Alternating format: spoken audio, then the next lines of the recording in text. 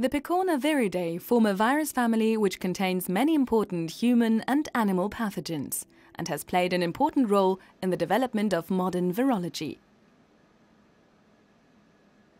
The most serious human disease caused by a picornavirus is poliomyelitis and is probably one of the oldest recorded diseases.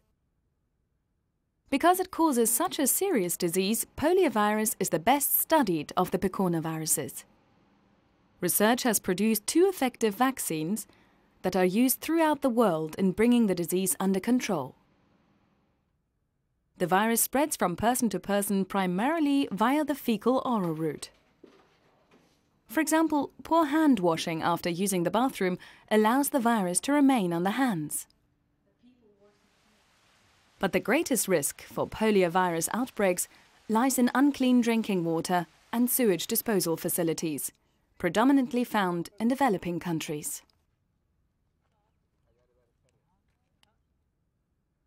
Poliovirus enters the body through the mouth, infecting the first cells it comes into contact with in the throat and the intestine. It eventually penetrates the intestinal lining and is absorbed into the blood and into the lymphatic system. Once the virus enters the bloodstream, it becomes a viremia and is widely distributed throughout the body. Poliovirus particles are spherical and with a diameter of about 27 nanometers are amongst the smallest viral human pathogens. The particles are simple and lack a lipid envelope.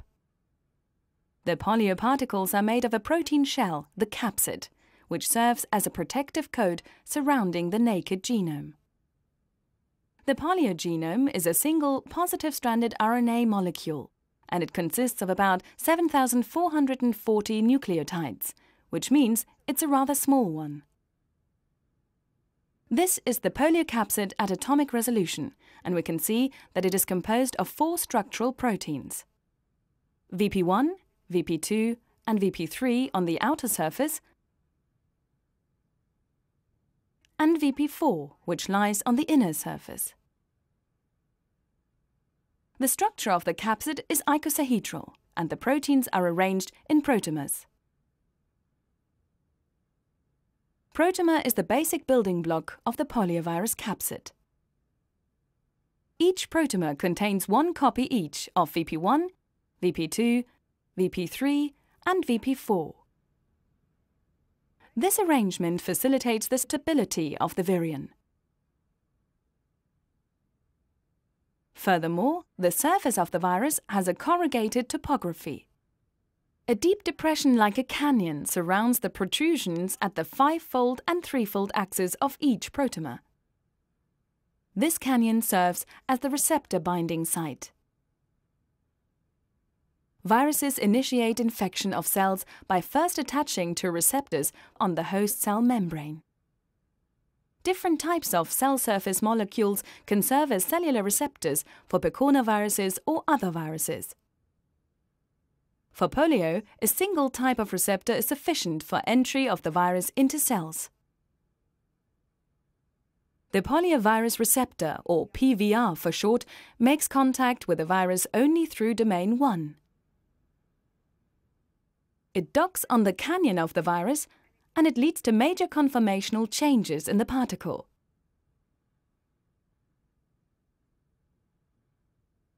As a result, a pore is formed on the capsid and the cell membrane. Through this opening, the viral RNA is transported into the cytoplasm. It is not known if uncoating takes place at the plasma membrane or within endosomes but eventually the poliovirus RNA is released into the cytoplasm.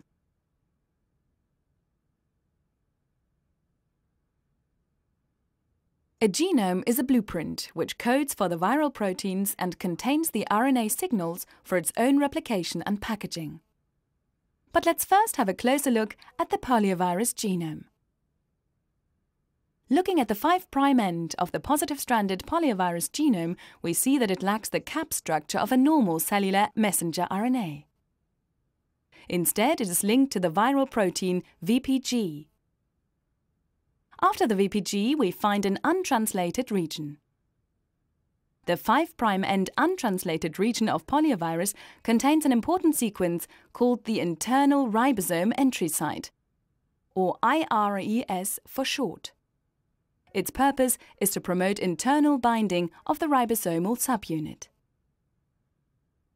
Following the untranslated region, we find the protein coding region of the genome. The first part, indicated as P1, codes for the structural proteins of the virus. The subsequent parts, P2 and P3, code for the non-structural viral proteins. Another important RNA structure worth looking at is found in the P2 region. This is a cis-acting replication element, or CRE for short, and it will play an important role during replication.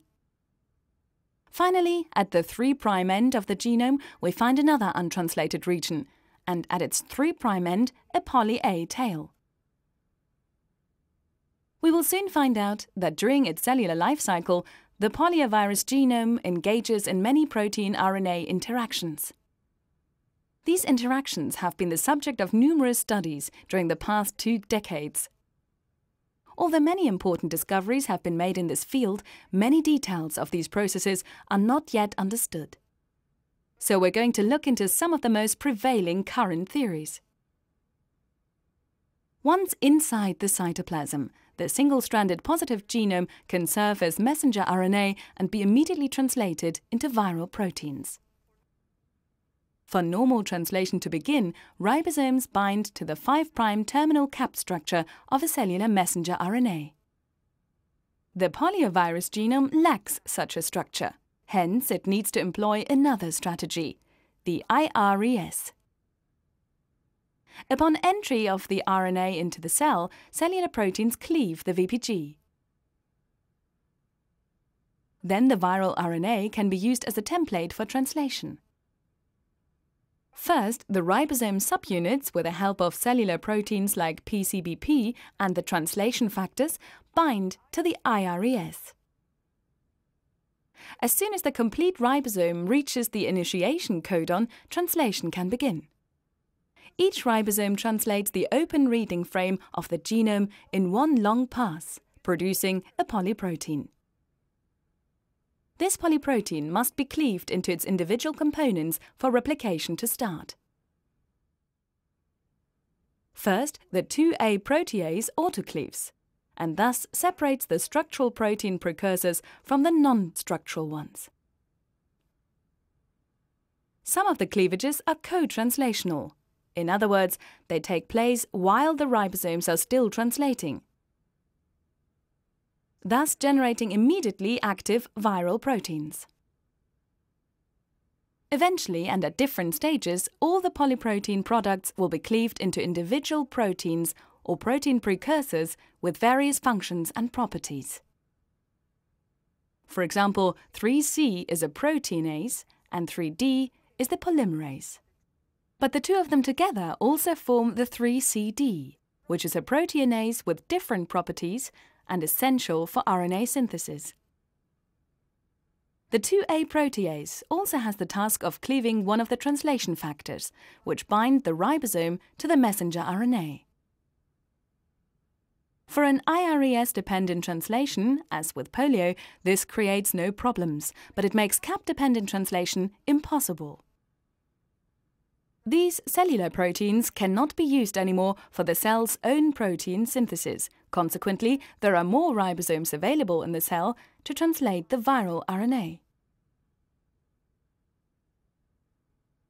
Another way in which the cellular environment is dramatically modified to support viral infection is by the striking rearrangement of cellular membranes and the creation of double membrane vesicles. Virus-induced compartments and membrane rearrangements, like these vesicles, are thought to serve as a scaffold or generally a site to support virus replication. As soon as enough proteins have been produced, RNA synthesis can begin. The same RNA template is used for both protein synthesis and minus strand RNA synthesis. The problem which needs to be solved is how does the viral polymerase traveling in a 3' end to 5' end direction on the template avoid collisions with ribosomes translating in the opposite direction? It's believed that the switch from translation to minus strand RNA synthesis occurs when a critical concentration of viral translation products accumulates in the infected cell. Let's see what happens. The viral protein 3CD-Pro is a critical component of the ribonucleoprotein complex which forms on the cloverleaf structure at the 5' end of the viral RNA. Binding of 3CD-Pro at this site displaces the PCBP bound to the IRES, thus preventing further initiation of translation of viral proteins. At the 3' end of the viral RNA, cellular poly-A binding protein PABP binds to the poly-A tract. The RNP complexes at each end of the molecule interact with each other so that the RNA becomes effectively circularized.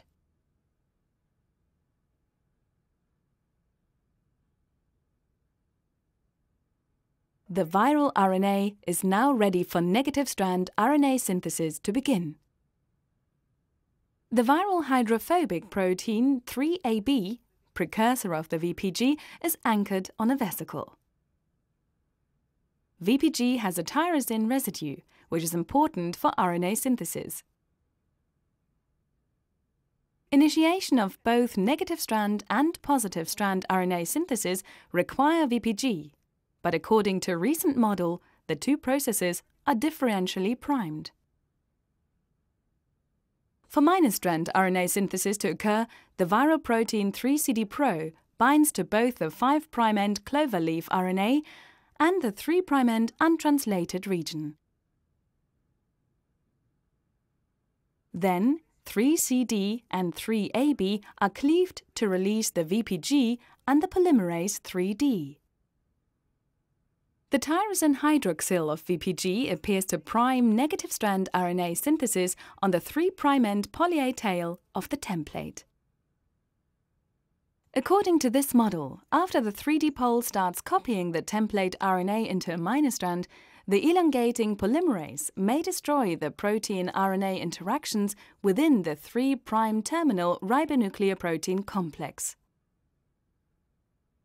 That event would prevent further minus strand RNA synthesis. Then another ribonucleoprotein complex containing more 3CD-Pro is formed at the Cre RNA hairpin, interacting with a 5' end. With further protein cleavages, more VPGs have become available. A conserved structure on the Cre element will serve as a template for the polymerase 3D pol to add U's on the VPG. This is called uridylylation of VPG, and it may happen recurrently to produce a reservoir of uridylated VPGs.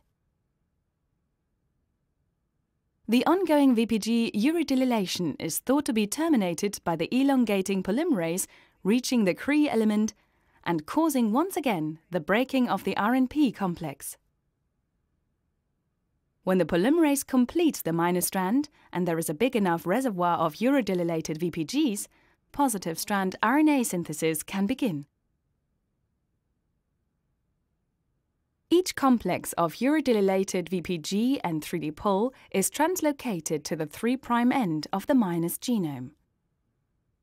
There, the U residues of the uridylated VPG hybridize with the 3' terminal adenosine residues of the negative RNA template. Finally, each polymerase continues copying the minus strand, creating a replicative intermediate. This model explains how both positive and negative poliovirus genomes found in infected cells have a VPG covalently attached to their 5' ends. But most importantly, it explains the observed asymmetry between minus and plus strands in poliovirus infected cells. The ratio of plus to minus strands has been found to be between 20 and 50 to 1.